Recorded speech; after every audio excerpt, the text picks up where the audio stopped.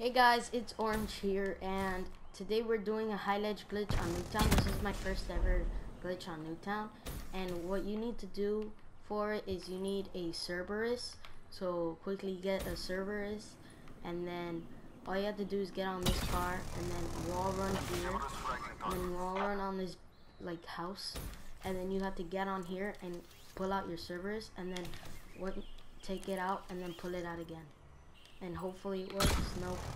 It's kind of tricky to get on for me. I don't know why. Maybe it's just for me. So, wall run. Second wall run. Jump. And here is the glitch. We're on. Now we can shoot. Now we can shoot. You, you can't double jump or you'll screw up the glitch.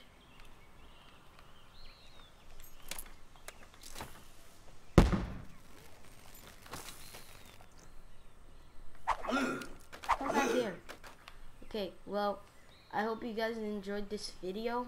It's pretty cool glitch, not gonna lie. I really enjoy this glitch, but it's, it's kind of hard to get on. And, uh, I think it's a pretty cool glitch.